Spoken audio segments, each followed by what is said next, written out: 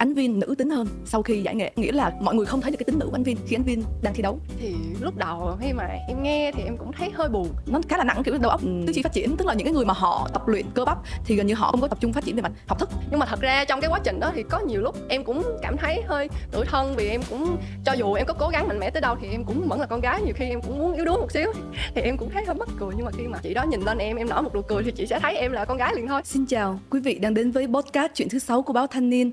Đây là chuyên mục xoay quanh các vấn đề về giới và tôi là Nguyễn Khắc Ngân Vi. À, gần đây á, ở trên mạng xã hội có một cái trend không biết mọi người có biết không là cái trend mà flex đến hơi thở cuối cùng. Xong ngày nào mình cũng vô đó mình coi hết. Và ban đầu tiên là những người bình thường tham gia thôi sau đó là người nổi tiếng celeb rồi uh, các uh, vận động viên tham gia. Cái mọi người gào lên hỏi ánh viên đâu? Ánh viên đâu? Sao còn chưa vô flash huy hiệu? Và mình rất là tâm đắc bởi vì hôm nay mình sẽ flex với mọi người là mình đang ngồi với cái người mà mọi người rất là trông đợi ở đây chính là ánh viên chào ánh viên dạ em chào chị vi chào quý khán khán giả của báo thanh niên ạ. Ngân Vi nhớ là tháng 6 2015 thì Ngân Vi có từng phỏng vấn Ánh Viên một lần ở Thủ Đức. Và lúc đó là chỉ có 20 phút để nói chuyện thôi là bởi vì Ánh Viên phải phải tập luyện rất là nhiều và và phải có một cái cái suất ăn một cái khẩu phần ăn rất là lớn đang chờ Ánh Viên. Thì lúc đó mình mình là phụ nữ. Và mình nhìn cái khẩu phần ăn của Ánh Viên thì mình cũng khá là căng thẳng. Cho nên cái chuyện mà cái khẩu phần ăn của Ánh Viên đến bây giờ vẫn còn là một nỗi ám ảnh với mình. Không biết là sau khi mà tuyên bố từ giả sự nghiệp thi đấu thì không biết là cái khẩu phần ăn của Ánh Viên bây giờ thì đã thay đổi hay chưa Dạ thì khi mà em ờ, ngưng thi đấu thì chắc chắn là cái khẩu phần ăn của em phải ờ, thay đổi trở lại người bình thường. Nếu mà em ăn như vậy chắc là em phát phì mất. À, là do mình vận động ít hơn ngày xưa đúng không? Dạ, khi mà mình vận động ít hơn thì cái nhu cầu ăn uống của mình nó cũng không phần phải nhiều như trước nữa. Ừ. Vậy cái niềm vui mà khi mình là một vận động viên chuyên nghiệp như vậy với lại niềm vui trở về cái đời sống bình thường thì nó có khác và giống nhau như thế nào? Dạ, em thấy thì, à, khi mà em, a, làm một vận động viên á, thì cái niềm vui của em á được đặt lên là em phá được kỷ lục của bản thân của mình và em thi đấu được đạt được nhiều thành tích. Còn khi mà em không còn là vận động viên nữa thì cái niềm vui hàng ngày của em là được có thể là gặp các bạn nhỏ, vui chơi mà ở trong môi trường nước với các bạn và gặp được những người thân yêu của em luôn luôn ở bên cạnh của em thì đó là niềm vui hàng ngày của em ạ. Ngân Vi nhớ là trong cái bài phỏng vấn đó thì Ánh Viên có nói một cái câu là ờ, ở cái thời điểm đó thì giữa thành công và hạnh phúc thì tôi chọn thành công. Không biết bây giờ là cái sự lựa chọn đó đã khác hơn chưa? Dạ thì cũng giống như là tùy vào mỗi thời điểm. Khi mà lúc nhỏ em đang ờ, thi đấu, cái mục tiêu của em lớn nhất là em nghĩ là mình cần phải tập luyện mình cần phải thi đấu. Sau khi mà mình thành công thì mình có thể làm những người xung quanh mình cảm thấy hạnh phúc cùng với mình. Ừ. thì khi lúc đó là cái suy nghĩ của em nó là như vậy. Nhưng sau khi mà em trưởng thành hơn em uh, trở về cuộc sống đời thường hơn thì cái hạnh phúc của em á là được ở cận những người thân yêu của em hàng ngày. Và em luôn luôn uh, làm việc cùng với họ. Ừ. thì em cảm thấy là rất là vui với lại dạy bơi cho các em nữa đúng dạ. không? dạ ừ. bơi với lại trên mạng xã hội nữa đúng không tự nhiên uh, Ninh Vi phát hiện ra là anh Viên là một kiểu một người rất hoạt động rất là sôi nổi trên TikTok và các mạng xã hội thì không biết cái có cái động lực gì mà tự nhiên anh Viên thay đổi như vậy và chơi mạng xã hội rất là sôi nổi như thế dạ thì uh, lúc đầu uh, em rất là kiểu hơi hơi bị ngại em ngại khi mà mọi người chú ý nhiều tới mình hơn thì em ừ. rất là ngại nhưng mà sau khi em nhận thấy là um, mình cần phải lan tỏa một cái điều gì đó mà cho các bạn nhỏ có thêm động lực để bơi thì em thấy là um, mình nên cố gắng vượt qua cái nỗi sợ ngại đó của mình để mình có thể giúp ích được cái điều gì đó thì mình nên làm ạ ừ. Vậy là sống đúng với lứa tuổi của mình đúng không? Dạ. Ờ, thì gần đây á mà ngân vi thấy trên những cái phương tiện truyền thông á, họ khi mà nhắc về ánh viên thì họ hay hay dùng những cái cụm từ như sau. Là ánh viên xinh đẹp hơn sau khi giải nghệ hoặc là uh, nhan sắc thăng hạng của ánh viên sau khi giải nghệ uh, ánh viên nghĩ có cảm xúc thế nào về những cái lời nói như vậy? Thì em cũng tâm sự với chị luôn thì khi mà em nghe mấy cái từ đó thì em cũng hơi bị mắc cỡ với ngại thiệt. Tại vì à, em cứ um, kiểu chắc em nghĩ là em thấy mọi người sẽ thấy em ở một cái hình ảnh khác hơn. Khi mà lúc mà em thi đấu đỉnh cao thì thật sự là lúc nào em cũng phải um, cần nên tập trung vô cái công việc của mình là tập luyện và thi đấu. Ừ. nên em hơi hơi cái mặt của em nó hơi bị căng thẳng hơn. Còn khi bây giờ thì em thoải mái hơn thì em thấy em em uh, cái gương mặt của em nó vui vẻ hơn nên mà mọi người cảm giác như vậy. Nên em cũng cảm thấy hơi ngại. Hợp với số đông hơn đúng không mọi người? À, tại vì quan điểm của của ngân vi nha là khi mà phụ nữ mà mình đặt họ vô những cái vị trí hợp lý phù hợp với họ thì chị thấy luôn là đẹp. Ví dụ như là một người phụ nữ uh, lúc làm việc tập trung cũng đẹp và khi mà họ ở trong bếp họ nấu ăn chăm sóc gia đình cũng đẹp và khi họ thi đấu thì họ cũng đẹp. Cho nên uh, bản thân chị cũng hơi hơi cảm thấy là ngạc nhiên khi mà mọi người ờ, nhận xét rằng ánh viên giải nghệ rồi thì trở nên xinh đẹp hơn. Nhưng mà những cái lời nhận xét đó thì chưa phải là mình quan tâm nhất mà mình cảm thấy lưu ý nhất với một cái lời nhận xét rằng là ánh viên nữ tính hơn sau khi giải nghệ. Thì uh, không biết mình hiểu như vậy có đúng hay không nghĩa là mọi người không thấy được cái tính nữ của ánh viên khi ánh viên đang thi đấu không biết ánh viên nghĩ sao về điều này? Dạ thì uh, cũng giống như uh, môi trường của em á thì uh, em cũng được đi tập với cả thầy với những anh chị lớn. Thì đa phần là em sẽ tiếp xúc với các thầy các anh nhiều hơn. Ừ. thì em cần phải mình phải mạnh mẽ hơn tại vì chơi thể thao mà mình không có được yếu đuối. Khi mà yếu đuối thì nếu mà thầy em có dạy á trước tiên á nếu mà mình thể hiện mình yếu đuối là mình đã thua một phần nào đó trước uh, các đối thủ của mình rồi ừ. nên mình cần phải mạnh mẽ mặc dù là mình hơi thật sự là mình không có mạnh mẽ như vậy nhưng mà mình cần phải suy nghĩ mình là người mạnh mẽ nên là nó phục vụ cho cái ờ, việc chơi thể thao của em nhưng mà thật ra trong cái quá trình đó thì có nhiều lúc em cũng cảm thấy hơi tủi thân vì em cũng cho dù em có cố gắng mạnh mẽ tới đâu thì em cũng vẫn là con gái nhiều khi em cũng muốn yếu đuối một xíu nhưng mà ừ. do hoàn cảnh ép buộc nên mình cần phải cố gắng hơn thôi ạ à. Cái quan điểm của anh viên nào về về về cái tính nữ của một vận động viên nữ? Nghĩa là khi mà một người phụ nữ mà mà họ thi đấu họ phải trở nên mạnh mẽ thì nghĩa là họ bị mất tính nữ sao? Tức là người ta không nhìn thấy ở đó là một người phụ nữ nữa hả? À, em không nghĩ như vậy. Khi mà một cái tính nữ trong một người vận động viên thi á ừ. không có phải thể hiện ra là mình uh, make up mình thoa son hay là mình làm đẹp. Nhưng mà nó thể hiện qua những cái nét mà mình thi đấu mình thể hiện những cái tính nữ của mình nó tự nhiên trong phần của con người của mình. Ừ. khi mà thể hiện ra thì mọi người sẽ cảm nhận hơn chứ không phải là mà khi mà mình thi đấu đỉnh cao thì mình đâu có thể nào mà tô son hay là uh, make up hay là mặc váy đồ được. Thì mình cần phải cái gì nó cũng phải gọn à, gọn và kiểu giống như là sao? À, sạch sẽ em cũng không biết nói gọn gàng hơn gọn gàng năng hơn. động hơn gọn gàng năng động hơn ừ. thì cái sự tính nữ nó cũng ở trong đó chứ không phải là mất đi ạ à. ừ.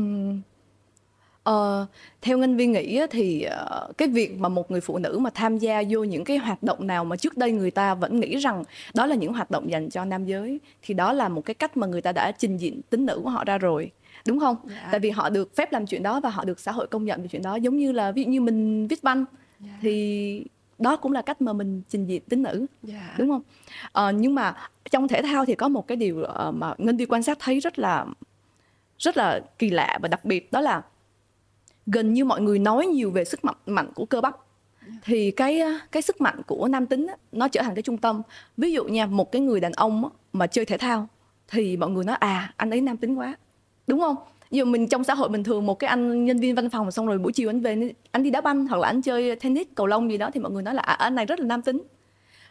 Chuyện đó thì cũng dễ hiểu đi ha. Nhưng mà ví dụ phụ nữ mà chơi thể thao thì người ta cũng sẽ nói ờ cô này nam tính quá. Ừ.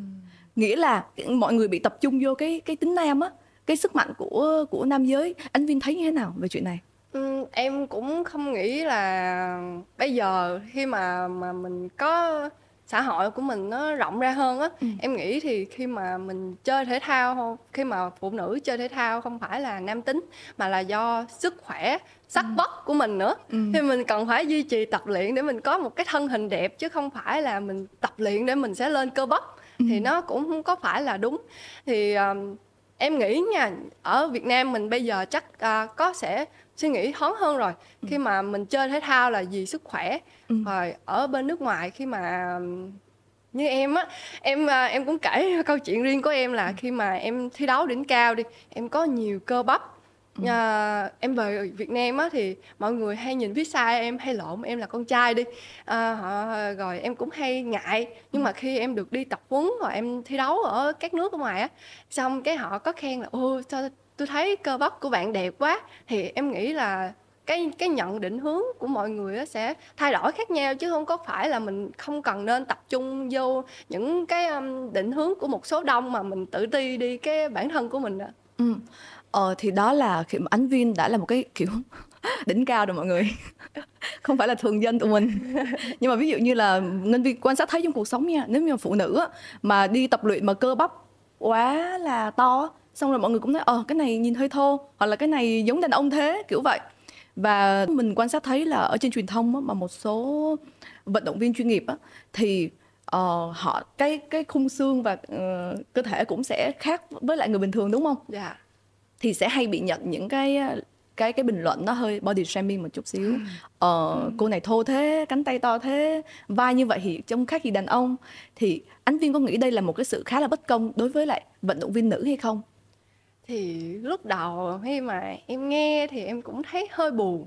Nhưng mà khi mà mọi người thật sự mà để ý kỹ nhìn kỹ lại thì mọi người sẽ thấy được cái đường nét cơ hay là những cái cơ thể ừ. của những người vận động viên nữ họ sẽ đẹp theo cách riêng của họ chứ không tại vì vẻ đẹp mà mà mỗi người sẽ nhìn thấy đẹp như thế này mỗi người đều thấy đẹp như thế kia. Nhưng mà đối với em thì em sẽ thấy mọi người khi mà có thêm một à, tập luyện có thêm một chút cơ bắp thì nhìn họ có nhiều sức sống hơn năng động hơn. Và em nghĩ là chắc là họ cũng sẽ à, có nhiều năng lượng để hoạt động trong ngày hơn. Ừ. À, chuyện này thì mình sẽ liên tưởng một chút xíu với cái ờ, cái đời sống bình thường của ánh viên ha. Ánh viên đã từng hẹn hò chưa? À dạ có. Ừ. Vậy à, ví dụ mình khi mình hẹn hò với lại uh, một người đi ha thì cái chuyện mà như mình nói đó đó nó có từng trở thành một cái vấn đề mà anh viên quan tâm hay không? Dạ chắc chắn là có nhưng mà sau khi sau này em suy nghĩ lại khi mà em cảm thấy yêu đời hơn em suy nghĩ lại thì ừ. khi mà một người đã mà quan tâm tới mình thật sự yêu thương mình thì họ phải yêu hết tất cả những cái vẻ đẹp của mình đang có ừ.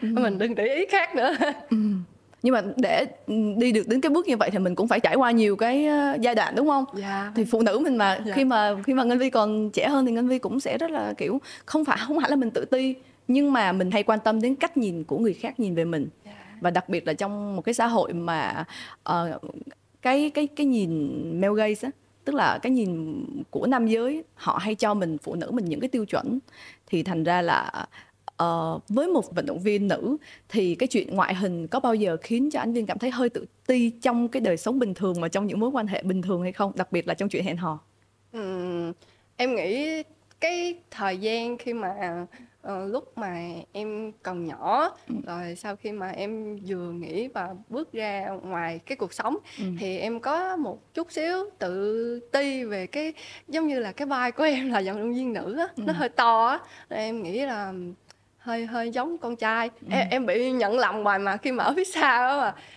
giống như hôm bữa em đi vô tiệm uh, thuốc đi em ừ. kêu là um, em muốn mua thuốc cái chị kia chưa có kịp nhìn à, rồi chỉ nhìn thấy cái bóng thôi nói là anh muốn mua thuốc rồi gì thì em cũng thấy hơi mất cười nhưng mà khi mà mà mà chị đó nhìn lên em em nở một nụ cười thì chị sẽ thấy em là con gái liền thôi. Nên là em sẽ dần rút kinh nghiệm là mình không có cần phải để ý tới ờ, cái ngoại hình của mình mà để ý tới là cái thái độ của mình. Thì giờ mọi người sẽ biết mình là à, nữ tính hơn. Ừ.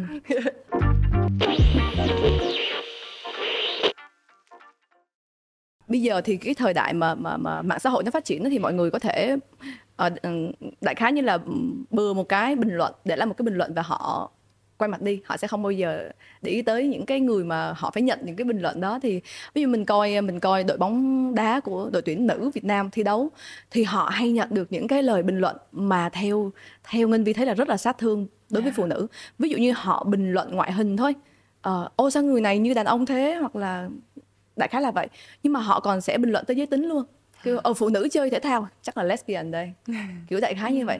Thì ánh viên có phải trải qua những cái cảm xúc đó hoặc là nhận được những cái lời bình luận mà khá là uh, không có được lịch sự như vậy hay không dạ thì uh, lúc trước em thi đấu thì em cũng mặc đồ bơi sẽ thấy cơ bắp của em nó rất là to nên là mọi người cũng nghĩ em sẽ rất là giống con trai nhưng mà khi em từ kinh nghiệm bản thân em nha ừ. khi em đọc qua thì em biết là đó chỉ là những cái bình luận ở trên mạng khi mà mọi người chưa có tiếp xúc với mình ừ. thì mình chỉ đọc thôi mình đừng có để những cái cảm xúc tiêu cực nó đi vào cái cuộc sống của mình ừ. à mình lướt qua thôi ừ. thì mình sẽ có một cái uh, cái lối sống của mình nó tích cực hơn ừ. mình đừng có để ý những cái tiêu cực nó đổ vào cái cuộc sống của mình thì mình sẽ tốt hơn Ừ. Với lại có thể là do ánh viên thời điểm đó không có thời gian đúng không? để đi soi những cái comment trên mạng đúng không? À, có thêm một cái nữa mà Ngân Vi quan sát thấy là vận động viên nữ hay phải hay phải à, gánh chịu. Ngoài những cái lời bình luận về ngoại hình, body shaming các thứ thì còn là bị quấy rối. Giống như cái trường hợp gần đây nè ờ, không biết anh viên có biết hay không, thì đội tuyển nữ họ thi đấu về họ họ họ chiến thắng và có rất là nhiều bình luận ờ, nói rằng ừ cho mình hôn cái lá cờ ở trên ngực của một cái cầu thủ nữ như vậy thì uh, sau đó mình tìm mình đọc tài liệu và mình tìm hiểu thêm thì không chỉ là môn bóng đá đâu mà rất là nhiều cái bộ môn khác mà ở đó uh, các nữ vận động viên phải chịu đựng cái chuyện quấy rối như thế thì không biết ánh viên nghĩ sao về điều này và ánh viên đã từng trải qua chuyện này hay chưa dạ thì uh, em thì uh, chưa được cái trải nghiệm mà em sẽ trải qua cái uh, bị uh, quấy rối như vậy ừ. nhưng mà em nghĩ khi mà một người phụ nữ hoặc là con gái mà đã yêu thích một cái môn của mình rồi á ừ.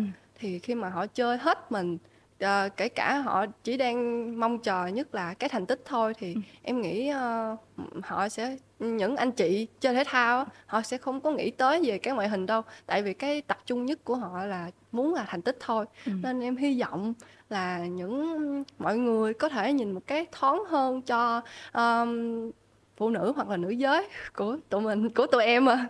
Tụi em chị nữa. Chị nữa. À, thêm một vấn đề nữa là uh, từ bao lâu nay á thì uh, phần đông mọi người nhìn nhận rằng những cái môn thể thao mà dành cho phụ nữ thì nó nó không có thú vị bằng những môn thể thao mà dành cho đàn ông.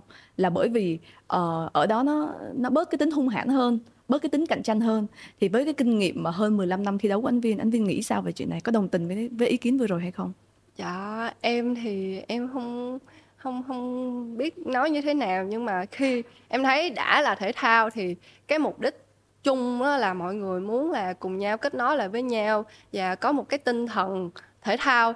Thì khi mà phụ nữ hay là đàn ông thi thì cái cuộc tranh tranh đấu đó nó, nó cũng sẽ diễn ra một cách công bằng. Thì cái cách kịch tính cũng giống như vậy thì um, trong thể thao ở Việt Nam thì mọi người cũng để ý là um, đa phần những các chị hoặc là môn thể thao của nữ người ta sẽ có được nhiều thành tích hơn giống như là mấy à, chị nữ ở đội bóng của mình đã được ừ. đi World Cup giống như vậy thì em nghĩ là nó sẽ không có bớt đi phần gây cấn đâu mà hình ừ. như là em nghĩ là nó sẽ gây cấn hơn nhiều khi được các chị được tham gia World Cup à.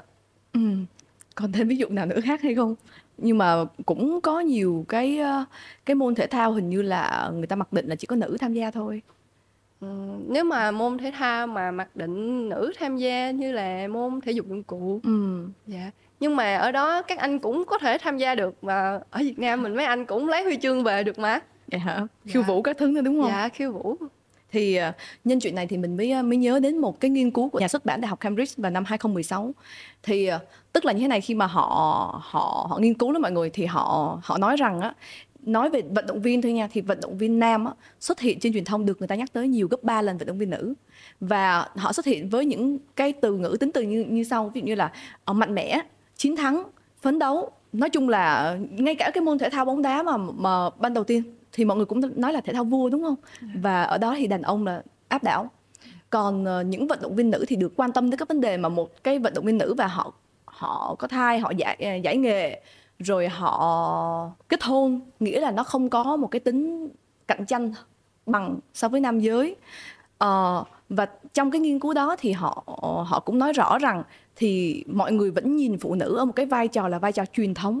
Tức là vai trò truyền thống nghĩa là làm vợ làm mẹ chứ họ không có coi cái thể thao là một cái sự nghiệp chính của một cái người phụ nữ thì không biết ánh viên nghĩ nào về chuyện này ừ, em nghĩ uh, những cái suy nghĩ đó chắc có thể là uh, của trước đây ừ. nhưng kể cả bây giờ khi mà phát triển hơn ừ. thì cũng giống như chị đã thấy đó là chị Huyền Điền Kinh vận viên 400 m. chị vẫn sinh em bé xong rồi chị vẫn quay lại và chị ừ. cũng vẫn trở thành là vận động viên ừ. số 1 ở Việt Nam và lấy huy chương vàng ở SEA Games thì em nghĩ là khi mà kết hôn khi có em bé hay là có những cái điều gì á thì em nghĩ là phụ nữ chắc có phải là còn nhiều hơn làm nỗ lực nhiều hơn đàn ông để mà đạt được cái những cái môn thể thao ừ. thì em không nghĩ là phụ nữ sẽ bị phần lép vế hơn uh, um, mấy anh đàn ông ạ à. ừ. thì uh, đúng đó là khi mà em em là một cái vận động viên đỉnh cao rồi em sẽ thấy như vậy mà trong những cái nghiên cứu về xã hội học thì họ vẫn nhận ra rằng ừ. phụ nữ họ vẫn bị nhìn nhận tức là ở cái vai trò chính của phụ nữ trong xã hội vẫn là những cái vai trò truyền thống đó em yeah. Dạ. truyền thống nghĩa là kiểu đứng đằng sau người đàn ông và chăm sóc gia đình thì uh, theo em nha từng là một vận động viên và bây giờ thì em uh, em Gen Z đúng không. Là một cái người rất là là là là trẻ trong xã hội này thì em nhìn nhận như thế nào về một người, vai trò của một người phụ nữ trong xã hội hiện đại? Uhm, em thì chắc uh, kiến thức của em chưa tới nhưng mà em cảm nhận thì uh, tất cả mọi người đều có quyền suy nghĩ của mình. Ừ. khi mà bạn sẽ thích là tự lập mình thích uh, làm phát triển bản thân mình hơn mình ừ. thích đi ra ngoài làm công việc hơn. Có những bạn nữ thì sẽ thích ở nhà làm những cái mà công việc truyền thống như chị nói ừ. thì uh, mình không có thể nào mà bao gồm chung được nhưng mà em đang thấy phần lớn mọi người tất cả các chị em phụ nữ thì đang sẽ có những cái chính kiến riêng của mình có ừ. những cái cuộc sống riêng là họ sẽ tự lập hơn à. ừ.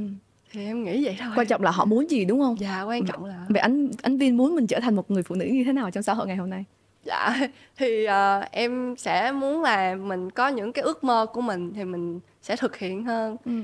dạ ví dụ như ước mơ gì thì em ước mơ là sau này uh, em làm được một cái câu lạc bộ mà làm sao mà phổ cập hết cho tất cả các trẻ em ở Việt Nam ai khi mà sinh ra và lớn lên ở Việt Nam đều sẽ biết bơi hết. Tại sao? Tại sao mọi người nên biết bơi? Dạ tại vì kỹ năng bơi là giống như một cái kỹ năng thứ hai cho tất cả các trẻ em rồi.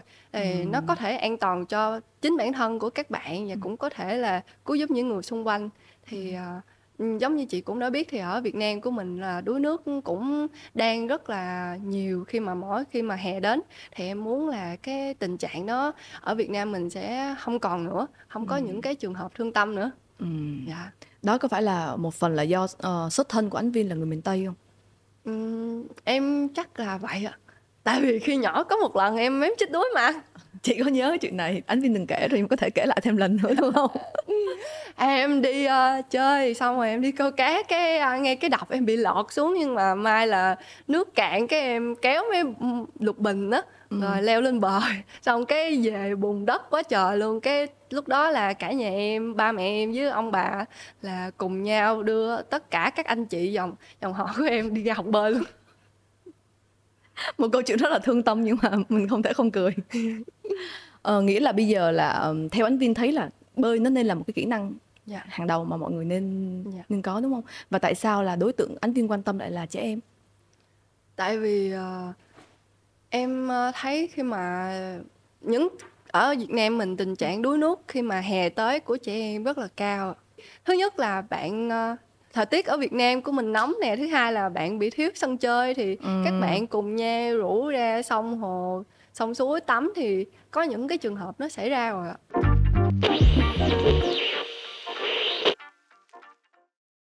gần đây thì à, thì ngân vi có thấy ánh viên có làm đại sứ cho một cái chương trình mà ở đó đề cao một cái chuyện là là người phụ nữ thì họ họ vươn lên bằng cái nỗ lực của bản thân chứ không có ăn may ở đây yeah. Dạ. nhưng mà uh, một cái quan sát thấy trong thực tế là phụ nữ mình nha. Khi mà làm một cái việc gì đó mà ở đó người ta cái người mà họ thường làm cái chuyện này là đàn ông hơn nam giới hơn đó thì khi mà mình đạt được một điều gì đó thì thường cô đầu tiên sẽ nhận lại là ở ờ, anh may. Ừ. đại khái là như vậy. Thì không biết là uh, cái giai đoạn đầu tiên những giai đoạn đầu khi mà ánh viên thi đấu và đạt được thành tích như vậy uh, chưa có phải là ánh viên của sau này thì không biết là ánh viên đã phải từng trải qua cái cảm giác này hay chưa? Dạ thì theo trong thể thao của em á thì ừ. được tính bằng giây bằng phút nó sẽ hiện ra ừ. cho nên mình không có chuyện là may mắn nhưng mà mặc dù may mắn nó sẽ có một xíu nào đó ừ.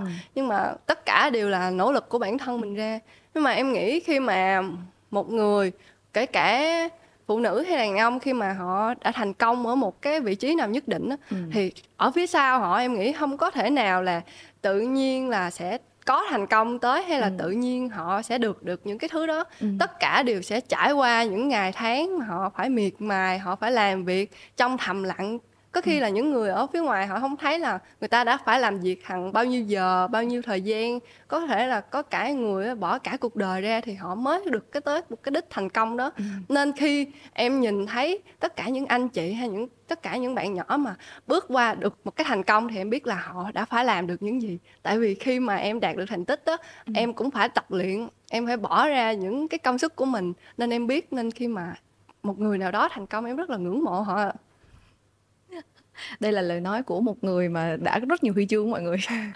Còn uh, ở trên thực tế thì theo theo mình quan sát thì uh, nó vẫn là một cái sự mất cân bằng khi mà người ta nhìn nhận cái vai trò của phụ nữ trong thể thao á. Bằng cách nào đó thì người ta vẫn cố lờ đi hoặc là không có đánh giá cao cái sự nỗ lực đó của một người phụ nữ như là một người đàn ông. Tất nhiên thì bây giờ xã hội phát triển rồi càng ngày nó sẽ càng bớt cái cái cái cái vấn đề này đi. Dạ. Ờ, nhưng mà nó cũng sẽ tồn tại ở đó. Ví dụ như là năm 2022 thì một cái ờ, hãng ô tô của Mỹ là ờ, một chuyên gia Buick thì ờ, có đưa ra một cái cái cái thông số một cái báo cáo là tức là tất cả các vận động viên thể thao thì có đến 40% là nữ. Nhưng mà trong cái số lượng tất cả các tin tức mà để nói về họ thì chiếm chỉ có 10% thôi. Và thậm chí là đó là lý do mà rất là nhiều người không có theo theo dõi được những giải đấu của nữ. Tại vì thông tin về những giải đấu của nữ ít quá. Và một ờ, huấn huấn luyện viên bóng chuyền Justin Brock đây cũng- là một nhà nghiên cứu. Và cái người huấn luyện viên này có nói là những cái quảng cáo về những trận đấu của nữ nó quá ít đi cho nên mọi người không theo dõi được. Thì liệu đây có phải là một cái sự mất cân bằng như là phân biệt giới tính ở trong cái thế giới của thể thao hay không? Ừ, em thì ờ, em không có biết những số liệu thống kê nhưng mà khi em là một vận động viên thể thao em thích yêu thích một cái môn gì đó thì em điều đầu tiên trước nhất của em là em sẽ xem thử là các chị nữ có chơi môn thể thao đó không và họ sẽ chơi có giỏi không có gây cấn giống như những mà phần nam giới chơi không? Thì em sẽ chọn là xem nữ giới hơn tại vì đó là cùng chung với em mà. Thấy cũng ngầu.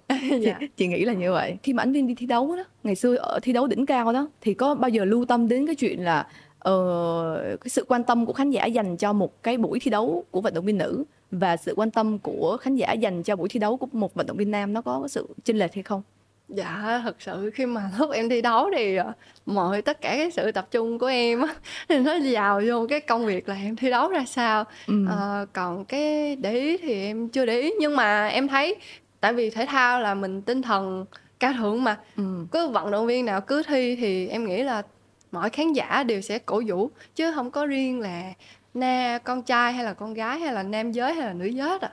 Ngày xưa mà gặp ánh viên với bây giờ gặp tuy là ở hai trạng thái khác nhau nhưng mà có vẫn giữ một cái tính chung đó là cái sự quyết liệt. Một khi mà nói về công việc thì ánh viên rất là tập trung và quyết liệt cho một cái lời nói nào đó. Thì à, không biết đây có phải là cái cái tính này có phải là do cái khoảng thời gian mà mình thi đấu nó đã rèn luyện cho mình hay không? Dạ, em nghĩ là vậy. Ờ, lúc mà em còn nhỏ thì em ờ, không không không được cái tính giống như vậy, em hơi bị rụt rè nhút nhát. Và đối với em là sao cũng được. Nhưng mà khi mà trong cái quá trình luyện tập em được thầy của em rèn giũa em tất cả mọi thứ là cái gì cũng phải ờ, quyết liệt hơn đấu tranh hơn vì cái mục tiêu của mình đặt ra khi mà mình đã đặt ra rồi á thì mình phải cố làm cho được Nhưng nếu mà mình gặp khó khăn thì mình sẽ tìm cái hướng giải quyết thì nó rèn luyện cái tính cách của em hơn là tới bây giờ là Ừ. khi mà mình đã muốn mong muốn làm công việc gì đó thì mình cần phải nghiêm túc làm việc hơn ừ. vậy nếu mà ở trong một những mối quan hệ cá nhân thì mình có uh, uyển chuyển hơn không? Tức là mình sẽ bớt một chút xíu cái tính quyết liệt để mà mình uyển chuyển dẫn dắt mối quan hệ hơn. À, Ờ. đại Còn- khái như mọi người nói là nữ tính hơn đó. Dạ um, nếu mà trong một mối quan hệ ờ, tình cảm bạn bè thì nó ngược lại chị ơi. À, em thì khi mà trong công việc á thì em luôn luôn ưu tiên là mình cần phải cố gắng hết mình. Còn trong việc tình cảm thì ờ, em cảm nhận là em hơi ờ, không chưa có sao ta? Em không biết giải thích sao là bối rối quá mọi người. Nhìn là thấy có một sự bối rối rồi đó. Là là kiểu giống như là mình không không không không còn là mình nữa. Là mình um, hơi bị uh, yếu đuối một xíu. Dạ kiểu giống vậy. Như thế nào nhỉ? Ừm, tức là mình sẽ không có phải là đưa ra cái quyết định gì là mình sẽ nhất định là phải Dạ. thực hiện cái cái quyết định đó đúng Dạ. không mình sẽ kiểu cân nhắc một chút hả? Dạ. Hoặc là nương vào đối phương một chút đúng không? Dạ. Thì em có thấy đây cũng là một cái tính nữ của em không? Chắc em nghĩ là vậy thôi. Và khi mà như em nói cái câu mà em đánh mất bản thân á thì em có hài lòng về cái sự đánh mất bản thân này hay không? Dạ không. Em cần phải cố gắng tập luyện lại. Như thế nào?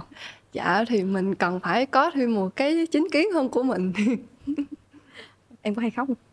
Dạ thì ờ, nói chung là em cũng có hay khóc ờ, so với lại ờ, ờ, cuộc một cuộc chinh chiến trong tình ái và một cái cuộc chinh chiến ở đường đua xanh á thì cái nơi nào sẽ làm cho em khóc nhiều hơn Ừm, là em nghĩ là không không không phải là nói là chinh chiến nhưng mà trong cái ờ, cuộc thi đấu Ừ. thì em định hình được sức của mình cần làm cái gì để mình đạt được Ừ. thì em nghĩ trong cái quá trình đó thì em chưa có yếu đuối hơn còn Ừ. khi mà chuyện tình cảm thì mình đâu có biết được cảm xúc của mỗi người mà nên Ừ. chắc là ở chuyện tình cảm thì sẽ khóc nhiều hơn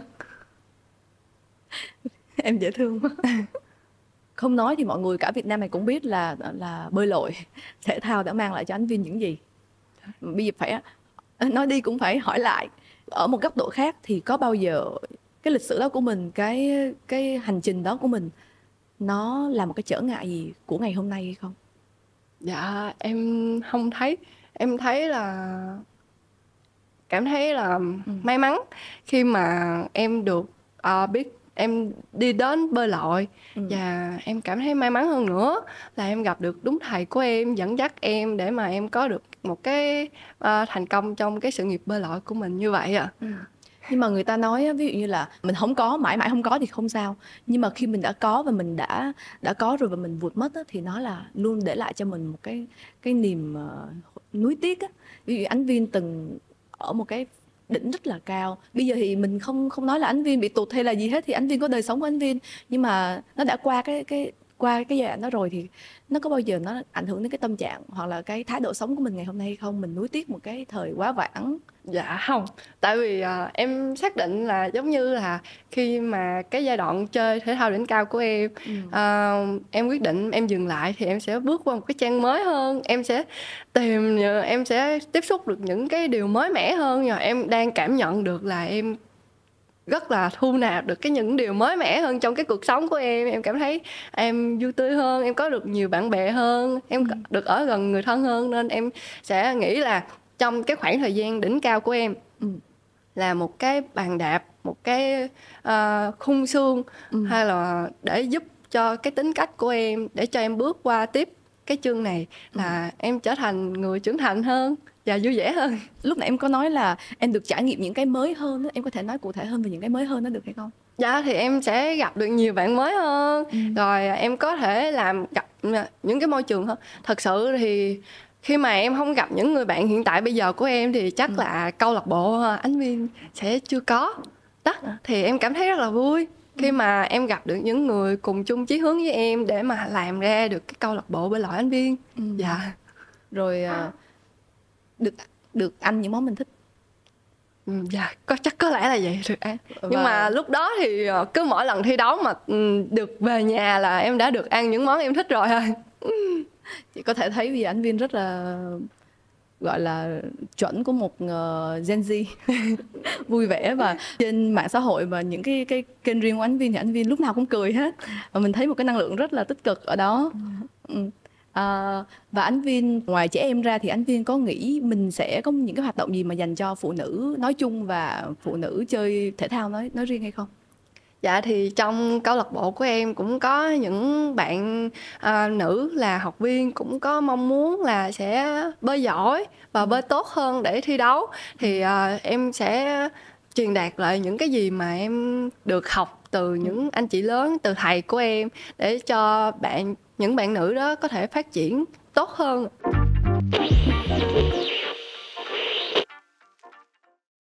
Có thêm một cái à, khuôn mẫu một cái định kiến thường thấy dành cho vận động viên thể thao. Uh, nói chung luôn không không có phân biệt ra là nữ hay nam. Đó là mọi người hay nói một cái câu đại khái như Việt Nam đùa thôi nhưng mà mọi người hay nói là uh, nó khá là nặng kiểu đầu óc ừ. tứ chi phát triển. Tức là những cái người mà họ tập luyện cơ bắp thì gần như họ không có có có tập trung phát triển về mặt uh, đi xa hơn về mặt học thức ví dụ như vậy. Thì đó là những cái mà mình thấy quan điểm rất là cũ từ ngày xưa. Nên vi thấy là ánh viên á sau khi giải nghệ xong thì hình như là có học lên nữa đúng không? Dạ em có học đại học thể dục thể thao. À. Ừ. Và có làm nghiên cứu về một cái đề tài mà Ngân Vi thấy là khá là thú vị dạ. về bơi lội. Dạ. Ừ. Ờ, cái đó là cái định hướng mà anh Vinh muốn gì mà anh Vinh lại lựa chọn con đường đó? Dạ tại vì à, em em cũng muốn chia sẻ với chị là trong cái quá trình mà em là vận động viên đỉnh cao á ừ. thì em cũng có được nhận một cái câu nói đó chính tới bản thân của em cái câu mà dạ. vừa rồi chị dạ. Nói dạ ờ. thì em rất là ấm ức em hơi ừ. bị tức luôn ừ. tại vì em nghĩ là không có phải là khi mà mình chơi thể thao là mình không có thông minh tại ừ. vì mình có nhiều mình cần nhiều thời gian để mình tập luyện cái chuyên môn của mình ừ. nhưng mà ngoài đó thì mình vẫn phải cứ học mình có học thêm những nhiều cái kiến thức mới ừ. chứ không phải là mình phải đi học thì mình sẽ thông minh ừ. nên là em muốn chứng minh cho mọi người thấy là à, không có phải chơi thể thao là không có thông minh và quyết định chứng minh bằng cách là làm một cái nghiên cứu cực đồ sộ luôn mọi người còn không cái nghiên cứu đó là tại vì em muốn em được cô ừ. cô cô linh hiệu phó ở trường thì giúp em cùng giúp em tìm ra được cái để mà cái giải pháp nghiên cứu để giúp cho các bạn nhỏ ừ. ở trẻ em Việt Nam của mình hứng thú hơn trong cái việc môn bơi lội thì nó sẽ giúp ích cho các bạn hơn. Ừ. Dạ uh, là một cái người mà ví dụ như ngày xưa thì trong cái tuổi niên thiếu thì thường xuyên là luyện tập và không có không có hay để ý những chuyện khác ngoài luyện tập còn bây giờ giải nghệ rồi thì lại tiếp xúc nhiều với lại nhiều trẻ em thì không biết cái chuyện đó nó có ảnh hưởng tính cách của anh Viên hay không? Anh Viên có thấy mình rất là hồn nhiên và hơi trẻ thơ so với lại những bạn nữ cùng cùng tuổi? Em thì em không có để ý nhiều, thì em chỉ tập trung với công việc của em.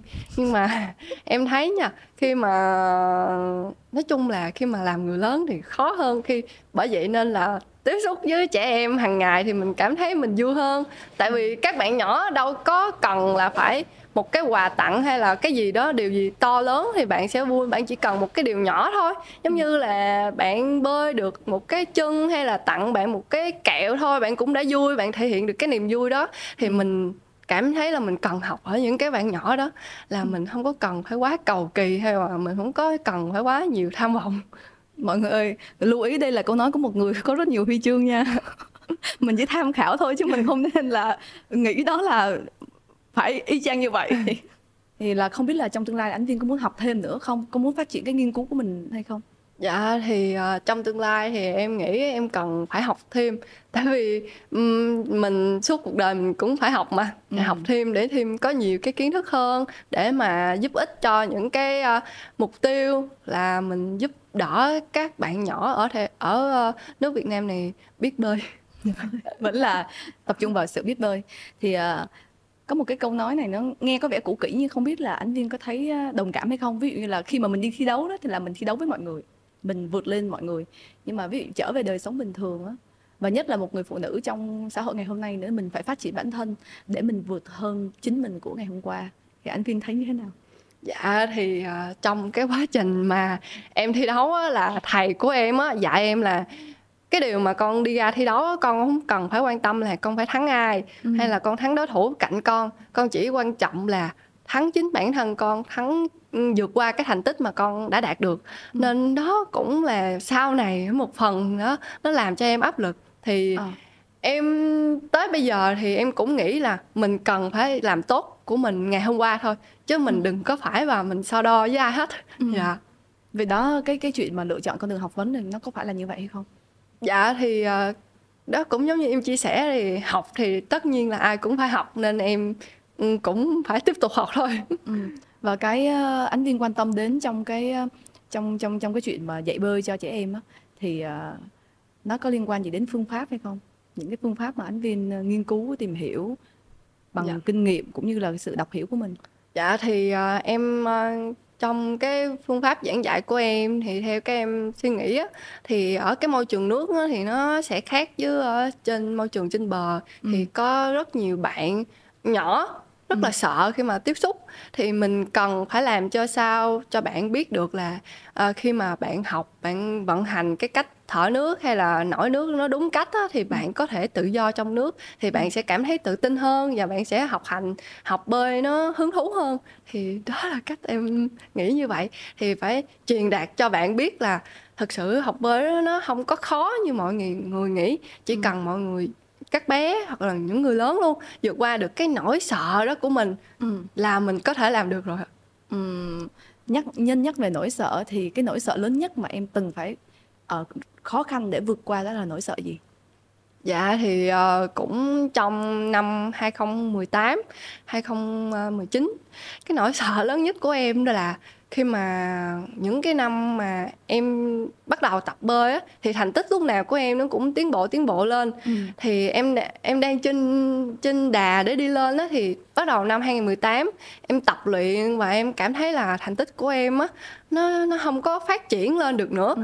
nó nó nó đang bị chững lại thì ừ. em cảm thấy rất là sợ Ừ. em rất là sợ khi mà mình thất bại nhưng ừ. mà cuối cùng thì cũng diễn ra nhưng mà sau khi em trải qua cái cảm giác đó rồi á thì em thấy em trưởng thành hơn à mình vượt qua được một nỗi dạ, sợ rồi à, mình vượt qua được thật ra khi mà tập luyện thể thao á không có phải lúc nào là mình cũng phải chiến thắng mà ừ. mình cũng phải thất bại để mà mình chiêm nghiệm được cái bản thân của mình là mình đã yếu cái gì để ừ. mà mình làm tốt hơn nữa ừ. thì em nghĩ sau khi mà em đọc nhiều em nghe nhiều em thấy là không có ai trong cuộc đời này mà không thất bại hết ừ. thì em cảm thấy em đón nhận cái đó nó bình thường lại với em ừ. chứ còn hồi lúc nhỏ em cực kỳ sợ luôn.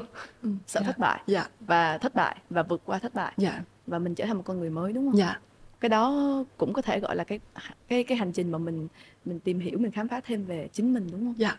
Và bây giờ cho nên có thể nói rằng vì đã tìm được đã vượt qua được cái nỗi sợ đó và cho nên em mới tìm được cái sự vui vẻ giống như ánh viên ngày hôm nay ngồi trước mặt anh viên không? Dạ đúng rồi. Bây giờ là không còn sợ gì nữa à, rất là cảm ơn anh viên đã đến với buổi trò chuyện ngày hôm nay.